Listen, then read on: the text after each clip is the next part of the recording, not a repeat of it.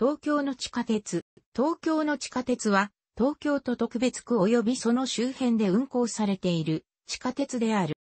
本校では、以下の定義1の路線を中心に必要に応じて、定義2の路線について解説する。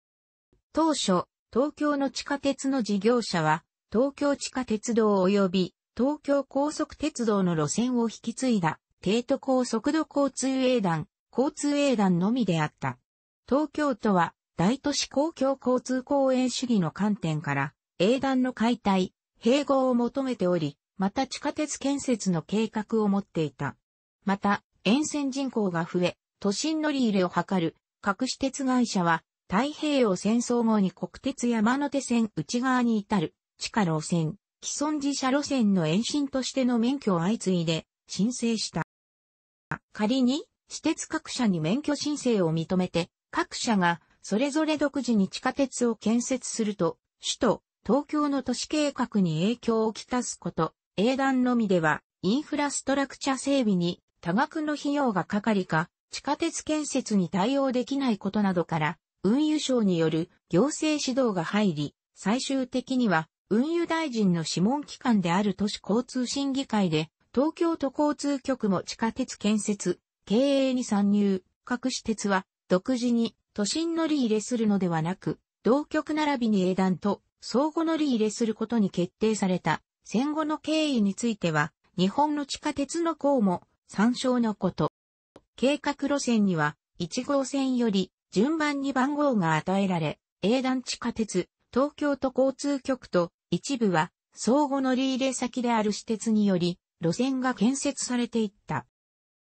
帝都高速度交通営団は2004年、平成16年4月1日に特殊法人から民営化され、東京地下鉄株式会社東京メトロとなった。民営化により発足した東京地下鉄の株主は日本国政府財務大臣と東京都の2社であり、東京都は都営地下鉄を運営する事業者であると同時に、もう一方の地下鉄事業者の株主でもある。同日から東京メトロと都営地下鉄の駅には、駅ナンバリングが導入され、各駅に路線を示すアルファベットと、駅番号を示す2桁の数字が割り振れている。例、東京メトロ銀座線の渋谷駅には G-01。また、それ以前より路線別にラインカラーが割り振られており、正式制定は1970年、利用者の利便性を図っている。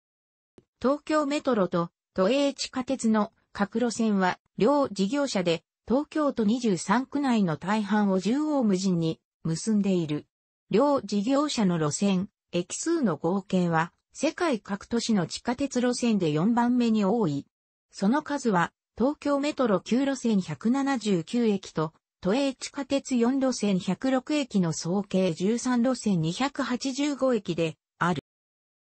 なお、皇居の地下は一部路線が皇居外苑をわずかにかすめる程度で、中心部は通っていない。これは、戦前からの皇居、宮城に対する意識に加えて、仮に皇居のもとに路線を建設しても駅が設置できず、さらに東京都心は皇居を囲むようにオフィス街や官庁街が広がっており、それらを経由して路線を敷設した方が多くの利用者が見込めからである。それゆえ、長田町や霞ヶ関付近、大手町付近などは路線が集積し、その位置関係が非常に複雑化している。また、東京の地下鉄は、前述の通り私鉄、一部は、旧国鉄、現 JR 東日本との相互直通運転が前提となっていることから、東京メトロの銀座線、丸の内線、ともに終電方式が第3機乗式で標準と、都営地下鉄の大江戸線、リニアモーター式で標準機を除き、JR 線、各私鉄線と機関を合わせ、相互直通運転を実施している。以下の表では、冒頭の定義1の路線について、都市交通審議会の路線番号順に示す。以下の表では、冒頭の定義2の路線のうち、上表に含まれない路線について、都市交通審議会の路線番号順に示す。いずれも、東京メトロ、または都営地下鉄と直通運転を行っている。なお、都市交通審議会の路線表記では、直通運転される地上区間を含める場合があるが、ここでは日本地下鉄協会のにおける地下鉄営業キロに掲げられた区間について示す。なお、東洋高速鉄道東洋高速線は、東京5号線の一部で、東京メトロ東西線の実質的な延伸区間で、あるが、全区間東京都の区域外であり、日本地下鉄協会が地下鉄営業キロに含んでないため本表からは除外している。東京の地下鉄で使用される車両は自社所有及び直通運転を行う鉄道会社所有のもので外観も独特なものが多い。地下鉄路線のほとんどはトンネル内径が狭く非常時に列車側部に脱げ出すことができないため、列車の先頭部と最後部の双方に非常時脱出し必要、貫通扉の設置が義務付けられた地下鉄と旅客車が導入、運行されている。以下に自社所有で現在運転を行っている営業車両のみを挙げる。相互乗り入れ路線の車両及び過去に走っていた車両は該当路線を参照。二つの事業者が存在することから割引運賃の設定や共通フリー切符の発売など様々な連携や提携が実施されている。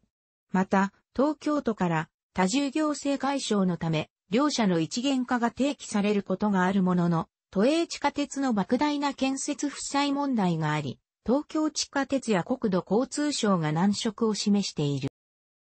他方、2010年から2011年にかけて実施された協議では、当時の副知事、猪瀬直樹が求めていた一元化については、先送りとされたものの、東京都の承諾なしでの東京地下鉄の株式売却を阻止、乗り継ぎ割引額の引き上げや、両者間の連絡駅の拡充などの実施について合意した。2017年6月には、同年に東京地下鉄の社長に就任した山村明義が、都営地下鉄との運賃の通算化、乗り継ぎの場合に、初乗り料金を二重に徴収するのをやめ、どちらかの料金体系で運賃を決定することについて検討を進めていることを明らかにしたが、両事業者にとって減収要因となるという問題もあり、実現には困難が予想されている。日本地下鉄協会のにおいて、同協会が地下鉄と認識している東京都特別区内の鉄道路線、区間、日本地下鉄協会会員の運営する地下路線、区間には、上日の他に以下のものがある。これらの路線は、建設の経緯、地下鉄乗り入れを目的としないターミナル部の地下化や貨物船の旅客化などから都市交通審議会でも東京号線の故障が与えられておらず、一般的に地下鉄とはあまり認識されていない。東京臨海高速鉄道臨海線は大半が地下路線であるが、国土交通省の統計資料などでは地下鉄と認識されていない。また、このほか日本地下鉄協会の会員ではない、鉄道事業者が運行する地下路線として、首都圏新都市鉄道つくばエクスプレスの秋葉原駅、南千住駅間がある。楽しくご覧になりましたら、購読と良いです。クリックしてください。